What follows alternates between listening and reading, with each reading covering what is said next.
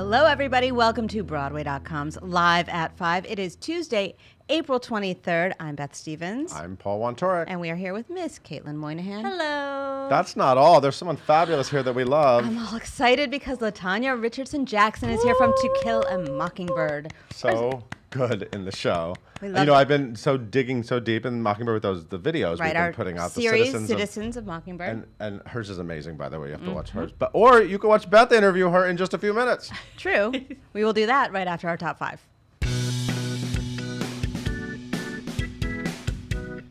Congratulations are in order for the newly announced nominees.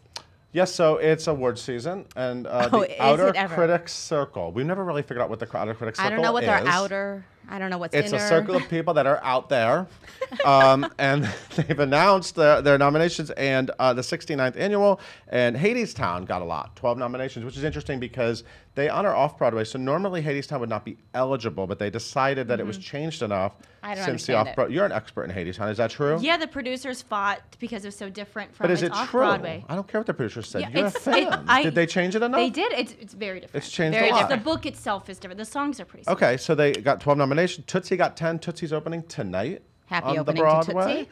And uh, Oklahoma got six. Anyway, winners will be announced May 13th. Go look on the site and see all the uh, Nominees. Congratulations. And this new play was announced for a second extension and hasn't even opened yet. This is good news. You have more time to see James Graham's Ink at Manhattan Theater Club I'm at the dying to see Samuel. Friedman Theater. Good. So good. That's my review. So good. So Broadway.com. Uh, this starts Not Jonny Lee quotable. Miller. Not that quotable. So good. So good. Uh, and Bertie Carvel. it, it looks at the infancy of Rupert Murdoch's media empire. Mm-hmm. And it's especially about when he bought the British tabloid The Sun Mm-hmm. and its editor, Larry Lamb. Uh, Jonny Lee Miller is the lead, plays Larry Lamb. Anyway, it was announced to run through June 9th, and now it will close on June 23rd, so a little more time. Cool. And these two are staying at the diner for a little bit longer. Speaking of extensions, uh, Shoshana Bean and Jeremy Jordan, two New musical daddy. theater favorites, new daddy Jeremy Jordan. They uh, are currently in Waitress, as we've discussed. I feel like daily Every on, day. on Yes, this show, day. and they were supposed to leave May 12th, and you know what? They're having a good time. They're staying until June 2nd. Uh, you know who they are. I don't need to tell you. Just go see them. They're at the Brooks Atkinson. And we are surviving on this news. This is a lot. Are you ready? Beyonce's father, Matthew Knowles, Mm-hmm. is prepping a Broadway aimed Destiny, Destiny's Child bio musical. Okay. Okay. Music World Entertainment has announced the new stage production. It's the evolution of Destiny's Child. I'm not going to tell you who Destiny's Child is because if you don't know, I don't know what's going on. Uh-huh. Uh, told through the eyes of Matthew Knowles, Oh. who was also uh, the co-creator and manager of the group. So it's called Survivor Colon. Colon the Destiny's Child musical. I was waiting for you to help me out with that. Um, and we'll play Houston, the group's home base, in 2020. No venues, no dates, But they're no saying casting, no book writer yet. Broadway yet. They're saying. Broadway aimed. Um, yeah, so there you go. I don't know if the score will feature Destiny's Child music. It looks like it Mm-hmm. might. And Well, Bootylicious. And Bootylicious Bills, Bills, on Bills, Broadway. Bills needs to be somewhere. 100%. Do you want any other things you want to vote for? Anything my else you name. wanna vote- They don't Say have my a name. They don't have a book writer. or anything else you want to hum along? We so it's just at the very beginning of it. So we'll we'll find out. We'll but see. It sounds fun. Oops, they did it again. So, speaking of musicals based on popular pop uh, song books, Britney Spears, you know, this is the thing. Uh, so, there's this uh, musical, Once, Up, Once Upon a One More Time. That's which- how you have to say it. Which is currently they're doing a works like right now. I think on 42nd Street there's a Broadway cast rehearsing. They're do they're like working on it right now. Uh, anyway, this musical is supposed to happen in Chicago, right? Yes. Mhm. Starting In October fall. 29th. But now Sony Pictures already bought the movie rights, which is interesting. So we haven't even seen the musical, and the movie rights uh, are snatched up. And we'll see what happens. They said it's going to be a Mamma Mia. I think they compared it to Mamma Mia in the news story. Um, in Once Upon a One More Time, Cinderella, Snow White, and other fairy tale princesses gather for their book club when a We rogue fairy godmother drops the feminine mystique into their corseted laps, spurring a royal revelation. That's a really fun concept. So I'm curious to see what this is. Very anyway, um, so yeah, it's going to be eventually on Broadway probably and in the movie theaters. All That's right. it. I want to get to uh, Yeah, I know. LaTanya Richardson Jackson. Well, wait, what else is on the site though? Before we get to that, Yeah. Citizens of Mockingbird today, Mr. Gideon Gideon Glick. Glick, who we, who our beloved vlogger. Dill, Dill himself. Dill. What's the dill with And Gideon tomorrow, Glick? by the way, is the final with uh, Jeff Daniels. You Yes, may the have heard of finale. him. That, that's tomorrow's Um, video. All My Sons opened last night, so we have photos and uh, lots of photos. We've got photos Yeah, of, yeah. of All My Sons. We've got the um, opening night video. We have behind the scenes video of Gary's opening night celebration. Special exclusive video. Look, Yeah. watch it very closely. Watch it very Just leave it at closely. that. There's a lot to see. There's a lot to see there. uh, there's a new episode of Sarah Stiles vlog.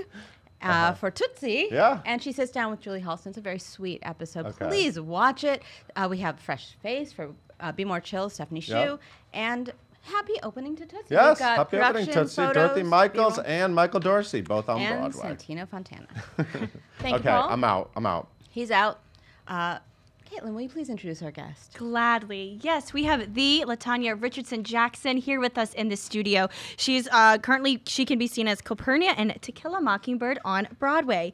She earned a Tony nomination for her role in A Raisin in the Sun and made her Broadway debut in Joe Turner's Come and Gone. Her extensive screen career includes The Civil War, 100 Center Street, Blue Bloods, Grey's Anatomy, and a whole lot more. Follow her on social media at LT Jackson underscore. Make sure you get that underscore in there. And leave all of your questions in the comments below. Everyone, please welcome Miss LaTanya and Beth. Thank you, Caitlin. Hi, LaTanya. Hi, Beth. Hi, Caitlin. I am so happy you're here with us. It's an honor and a thrill to talk to you. It's an honor to always talk to Oh, you. Oh, I love this woman so much. Can you tell him a LaTanya Richardson Jackson super fan? oh, God. How are things going over there at the Shubert Theater? Oh, everything is, you know, we don't have room to receive all of the graciousness that is being bestowed on our play. There's like so much abundance of everything over there, including people. Well, it's a huge hit, sold out hit. What was your first feeling when you were called about this role? Hmm, do you want to go and play the maid? Um, you know, that book, it, it, it, it used Calpurnia in a way that, you know, was not necessarily memorable. So I wasn't sure that it was something that, you know, I was going to drop everything because, you know, this is, was an all consuming project, uh, year in the making. So I wasn't so sure about that until I spoke to the powers that be, and that was Bart Sher, who's a dear friend, and Scott Rudin, who's like our everything. Your director Um, and your producer. Yes. Uh, about what the idea, I didn't know Aaron Sorkin, and but you know, of course, we, we know his work. What the idea was for Calpurnia's agency in the film. I mean, in the film. In I'm the all- play. I'm ahead of myself. uh, in the play. And so, what convinced you to take this role on? That they would that she would have agency that's what i'm saying that Yeah. he he assured me that this was something that he was going to do creatively with her because he didn't want her to be scenery either and he held true to what he said In, in some ways, she's parallel to Atticus Finch in the in the way that she's a role model for the children in the play, and she's a pillar of decency. Do you think that's the case? Um, I'm not, I don't, you know, it all sort of melds together about what exactly she is. She was trying to fill a role of um, nurturer and parent, you know, de facto because she had been friends. She was third generation in, in that household. So she was there before Atticus was there.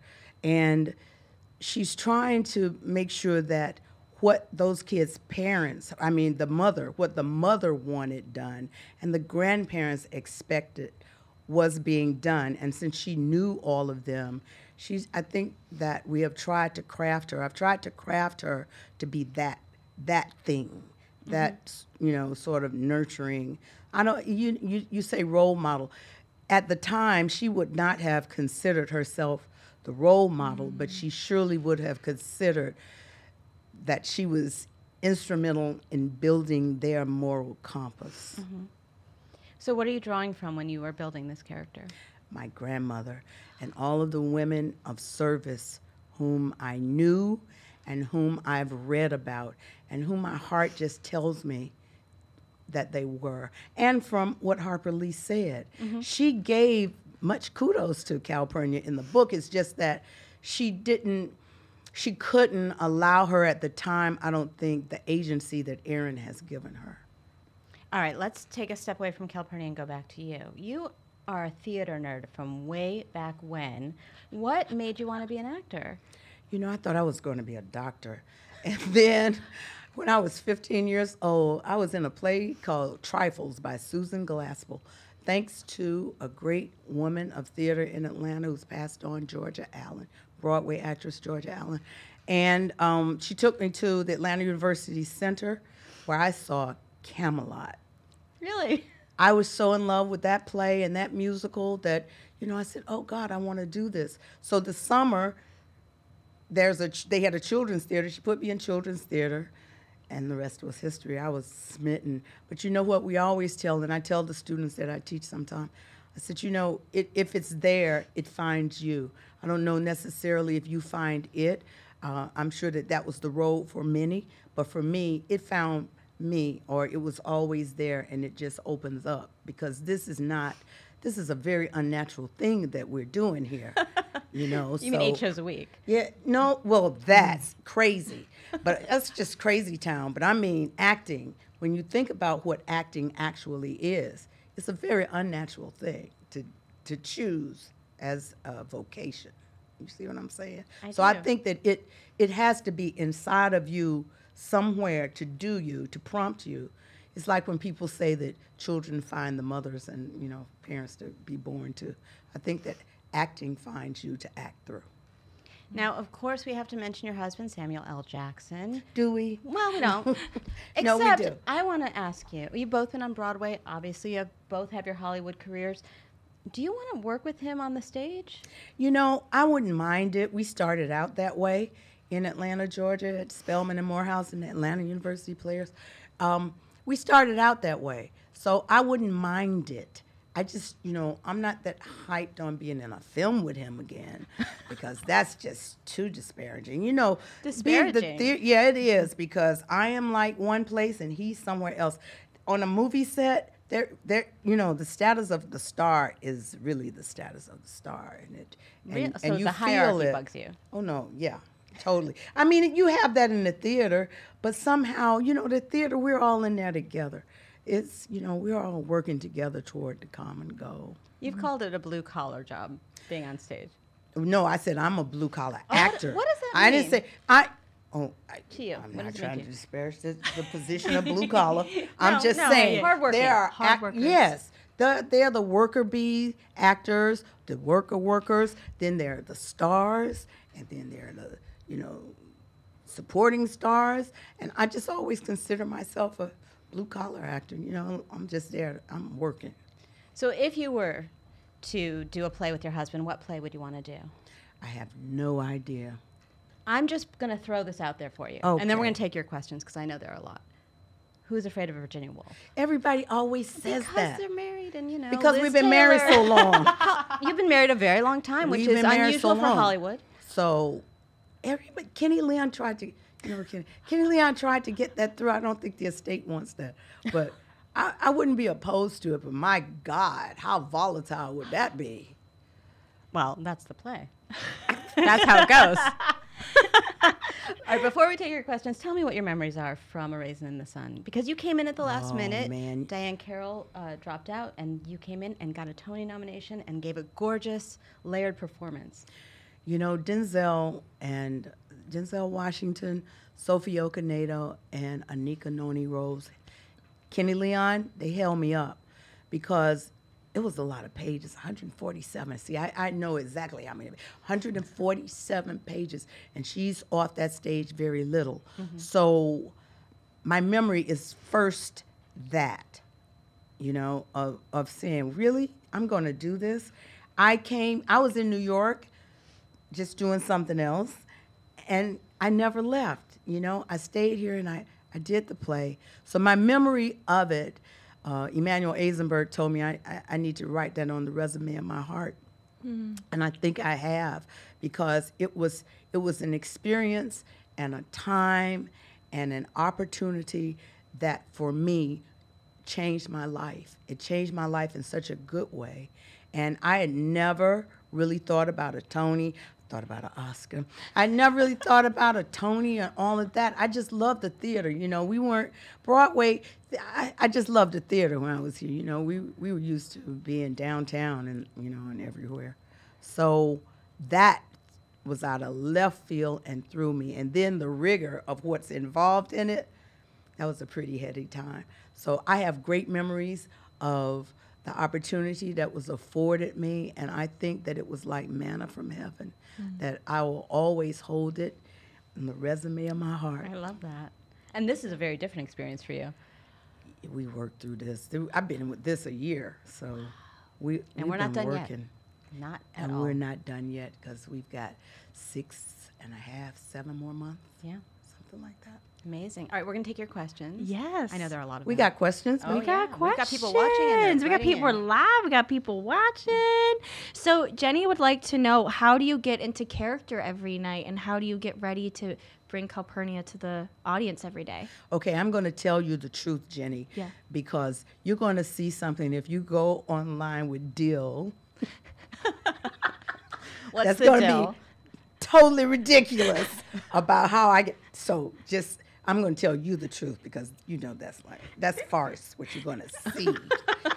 um, I, you know, I get there earlier than half hour, and I first warm up on the stage, and all of the ushers will tell you I come in and I'm speaking to the ushers. It's like, hey, how we doing tonight? What is the temperature out here? It's freezing. So I get the lay of the land, what the room is reading. Then I do my vocal warm ups, um, and then I do the floor with stretches. Then I go to my room and I start talking and I'm talking so that I can hear myself start to get really like, you know, down there. So, so that I'm not up here with it when I'm coding. So um, I'm down here, so you know I can start talking. So I start talking to Dakin and you know and Phyllis. We're on the same floor. Oh, okay. All of us just start chatting, and basically that's all I do. And you know I warm up from there. By the time I we get to the stage, Diana Sands The great look Diana her up. Look her up. Look her up, people. Uh, told me to always start counting backwards Oh. from 100 and to gain your focus. And then that's what I do. And that's basically it. But for me, going to the stage before the show is everything. Hmm. I, I, I have to like meet that room every day. I love that. I love that. So Maggie wants to know what has this. You know, you said you've been doing this for a year already. How what has this experience meant to you personally so far? You know, I, I I'm, I'm all dug in. Um, I wanted to make sure that Calpurnia had the agency that not only that that Aaron had given her, but that she was filled with enough blood and guts inside her that the three dimensions she had to walk around in was something that people was were going to remember. So that's what I did, and that's what it is. I love that. Cool. This will be our last question. So, Kate wants to know what is it like working with this awesome company of actors and creative team, and what's it what's it like backstage for you guys? um, you know, we cry a lot. We could, you know, it, it took us a long time to, to get through that play without crying. Um, it's it's it's such a company that for those of you who haven't seen the play, you've read the book, so you know the N word is just totally infused through throughout it, and the situation itself is so deep that the integrity of everybody involved hmm. has to be such that you can trust them. And working in this company has such a level of trust that it's my joy. We never come in there, we may be tired or, you know, okay, here we go. This is number what show we're, we've got this week. But we feed into each other and we hold on to each other and we get through it because there is such a respect and love in that company that I have never experienced. And I've experienced great times, like I said, in Raisin, it was there, but somehow because we had all of this workshop to do, mm-hmm. we're we're just intertwined and backstage you can tell it's a family. It mm-hmm. really, really is a family. I love that. What are some reactions you've had from audience members or friends who have come to see the show? You know, everybody wants to talk about the tears, you know, because I cried, I cried, I cried. I said, okay, well, did we get the message? Um, they love Calpurnia and, and, and are shocked by it most of the time, but they say, but you know, I can't now see Atticus existing without Calpurnia because, you know, on a par, they're like yin and yang. It's the give and take, and somehow we end up making it work. So you hear a lot of that. You hear how great the kids are, that, you know, they weren't sure that they were going to be able to see the play with adults playing kids. And then they said, and, you know, you go and you sit down and you're like saying that, and before you know it, you're not even thinking Oh, because forget. as soon as they come on, you're done. You know, they're they're baking that thing. so a lot of that, and then of course there's always, like I said on um, on our video, there are always the people who say I had a Calpurnia. I feel for them too, though, because I understand exactly what they mean, exactly what they're saying. I make light of it sometimes when they tell me that, like you had a Calpurnia, really, really.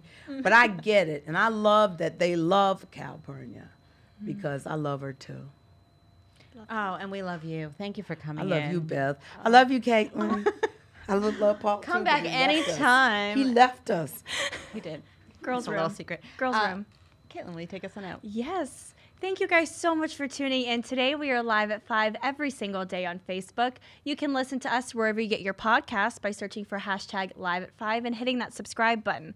Be sure to tune in tomorrow. We talk to John Cameron Mitchell about his new podcast, Anthem.